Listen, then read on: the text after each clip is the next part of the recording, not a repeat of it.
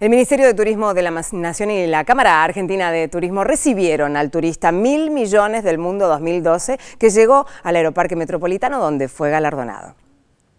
Mil millones de turistas, mil millones de oportunidades.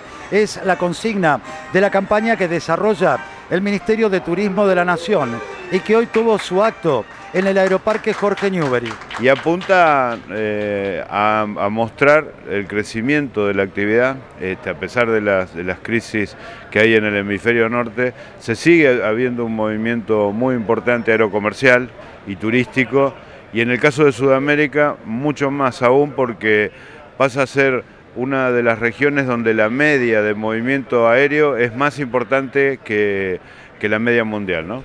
La afortunada turista mil millones es Ivonne, una brasileña de Sao Paulo. Recibió un sinnúmero de regalos e invitaciones. Y gracias por todo. Fue una, fue una grata sorpresa. ¿Cómo se siente ser la turista mil millones? Estou sem palavras, porque não esperava.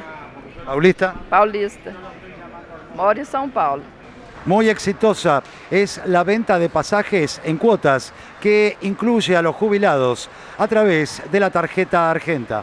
Que los jubilados además pueden comprar hasta en 45 cuotas con solamente su recibo de sueldo y su DNI en cualquiera de los centros de atención de aerolíneas argentinas, lo que también facilita este, que los pasajeros argentinos puedan subir a nuestros aviones. Que todos tengan acceso. Exactamente, creo que buscamos facilitarle a la gente el uso de este medio de transporte tan cómodo, tan seguro, tan eficaz, sobre todo en un país tan grande como nuestro.